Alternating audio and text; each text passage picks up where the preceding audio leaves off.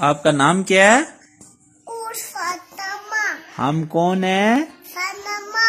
हमें किसने पैदा किया है? अल्लाह मियाँ ने पैदा किया अल्लाह मियाँ कितने हैं?